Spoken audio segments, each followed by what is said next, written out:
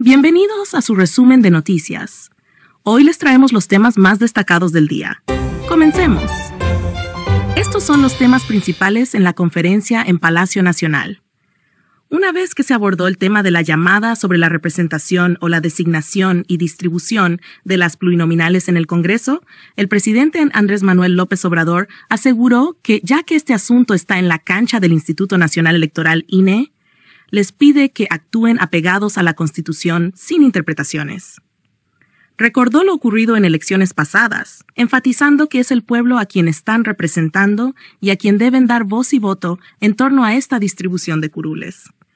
Además, señaló que, aunque ha habido presiones externas sobre los consejeros, legisladores y otras instancias del gobierno, particularmente desde el ámbito empresarial, el presidente desafió a estos sectores a que respondan si están de acuerdo o no con que se viole la Constitución. Aunque aún no han dado respuesta, el presidente afirmó que sus adversarios en las cúpulas empresariales y políticas son capaces de cualquier cosa, incluso de influir en los consejeros para decidir sobre la asignación de diputaciones plurinominales. Por ello, instó a que se actúe con honestidad, subrayando que el pueblo estará muy atento a cómo se realice esta distribución y qué decisión tome el INE. Dijo que quedará claro quién es quién. El mandatario también se refirió a la reforma del Poder Judicial.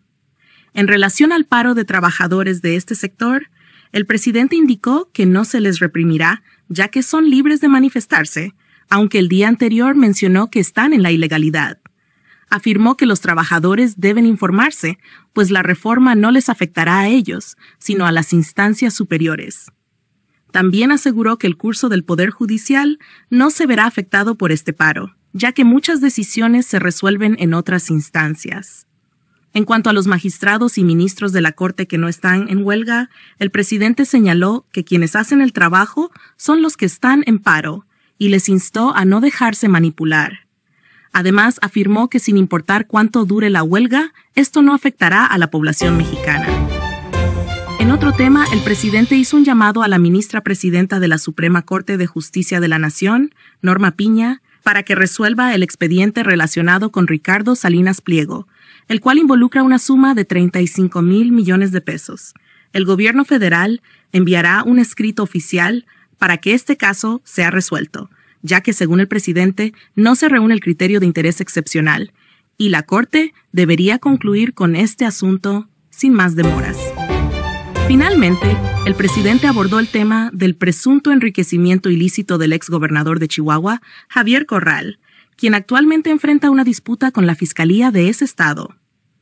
El presidente mencionó que no tiene información sobre estas acusaciones, pero cree que se trata de una venganza política también destacó que Corral necesita llegar al Senado con fuero, afirmando que no hay nada detrás de estas acusaciones, más allá de una pugna de índole política.